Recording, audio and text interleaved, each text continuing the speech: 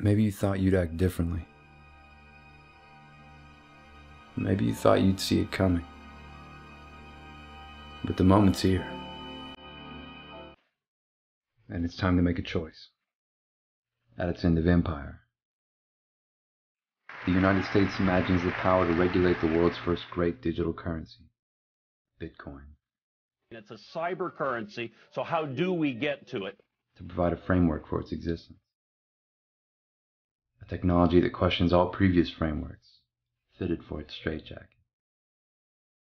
Helping the United States is a group of lobbyists and corporations calling themselves the Foundation. Their mission is a performance to both agree with and maintain an independence from regulatory power. But you can't have it both ways. unSYSTEM is an international group of activist developers led by Amir Taaki. Concerned by the Foundation's centralized development and advocacy, they're developing a crypto wallet that runs on a completely independent software stack. This wallet runs on the backend libbitcoin, the command tools SX, and the Obelisk blockchain server architecture.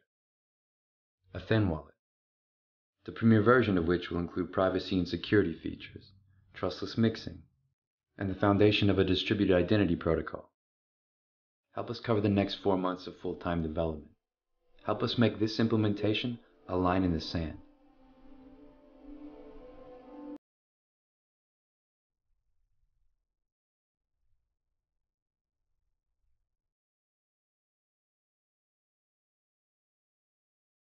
In terms of the technology.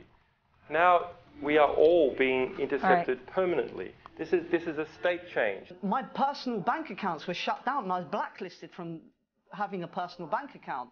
It doesn't matter, I was able to use Bitcoin. And now we're hearing stories of people's personal hold, accounts why- being why blocked are you so because they're dangerous? sent- They were comfortable operating in that environment because they felt that they enjoyed uh, complete anonymity.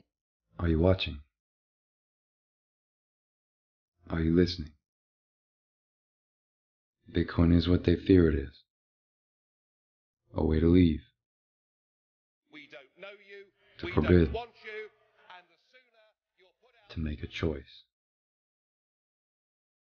There's a system approaching perfection. Just in time for our disappearance. So then, let there be dark.